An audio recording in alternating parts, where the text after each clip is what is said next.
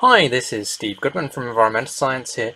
Today we're going to take a quick look at taking a benzene measurement with the MultiRae benzene. Um, so this is a very simple process. So what we do is we go to the across arrow here, press it once, and it says tube, benzene, start sampling. You say yes. You can then install the cartridge, so you remove this filter on the top here.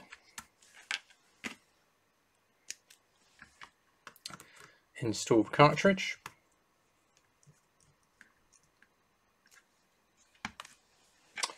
Replace the filter on the very top here.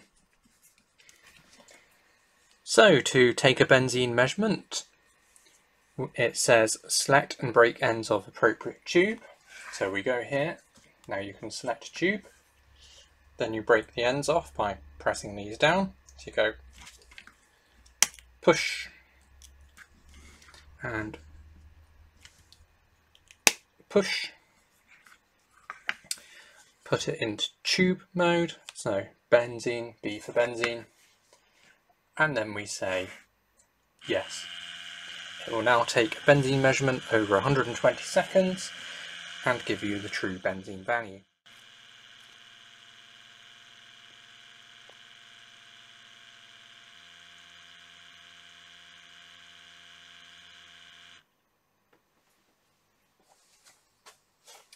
So you can see that the benzene measurement has stopped now and it's coming up with 0.0 ppm.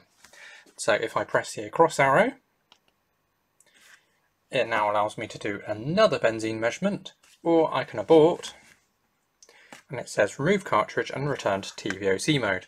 So if I remove the cartridge, reinstall the filter,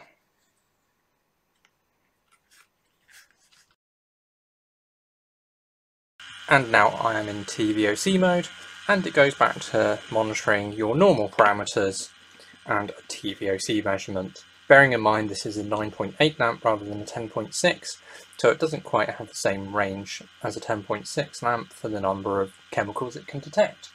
But this is why it's the benzene model and not the generic TVOC model. Anyway, that was how to take a benzene measurement. If you'd like more information, uh, please contact 01904 373 018 or email info at environst.com. Thank you very much.